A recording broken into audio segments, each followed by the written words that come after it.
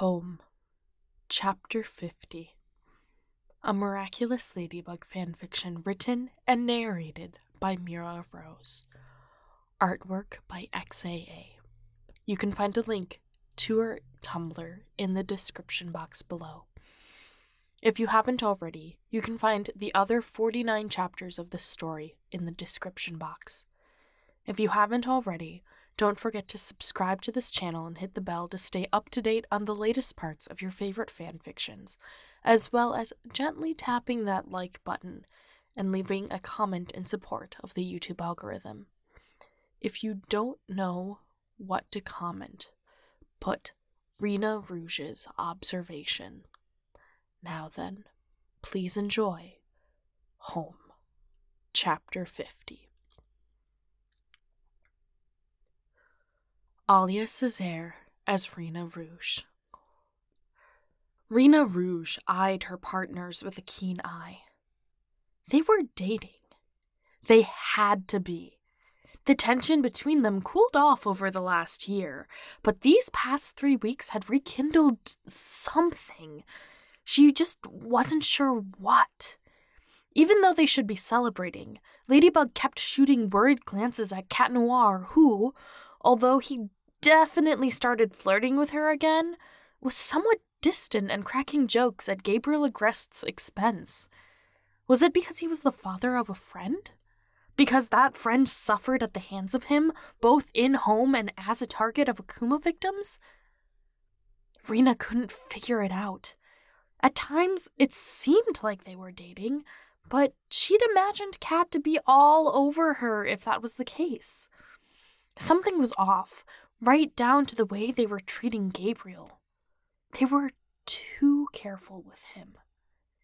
And had anyone contacted Adrien about this yet? It would hurt, but he deserved to know.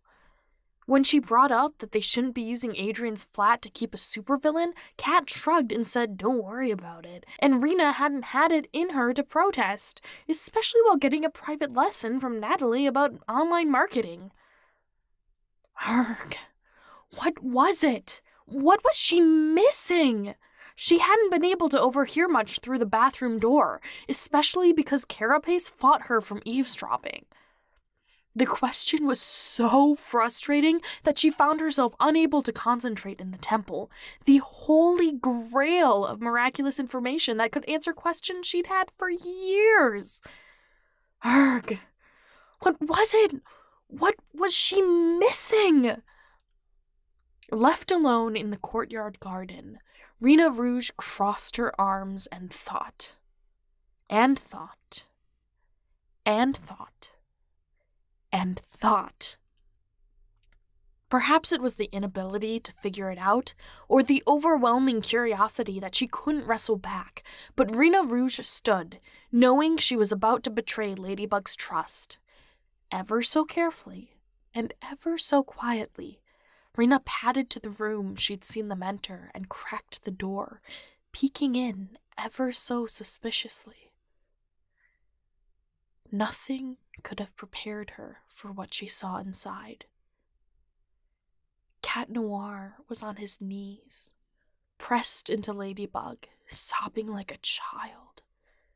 The scene upset her so terribly it took her a moment to realize no one else was in the hardwood floored room. It was just them.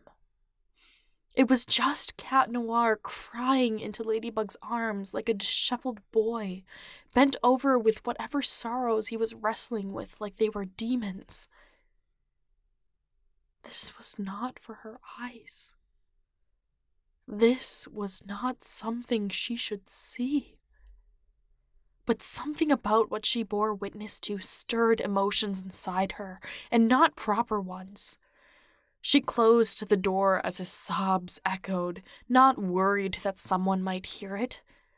The way Ladybug rubbed his back and his tight clutch on hers. There was so much more than a sidekick like her would ever know. An hour passed, and then an hour more, but Rena didn't dare look inside the room again. She instead made herself useful, finding monks and telling them about Natalie. An hour later, she found herself in a sitting room with Carapace, Viperion, and Queen Bee, but Ladybug and Cat Noir were nowhere to be seen. She couldn't blame them. Whatever happened, it wasn't good. Looking like her soul decided to leave her body, Ladybug staggered in. Okay, she said, her voice hoarse. Let's go. Ugh, finally! Queen Bee exclaimed. Did Gabe ever pee? Carapace piped up. Uh, yes. They took him to use the facilities, Ladybug said. Viperion put a hand on Ladybug's shoulder, a look of concern on his face. Where's Cat Noir? he asked, his voice gentle enough for Rena to realize he noticed her pink eyes. He's. ah. uh. Ladybug took a moment to compose herself. He's not coming. Rena could tell she was barely keeping it together. Okay, she said, clapping her hands. Sounds good, folks. Let's go. Ladybug gave her a slight nod and, thanks to the power of the miraculous, went back to Adrien's apartment.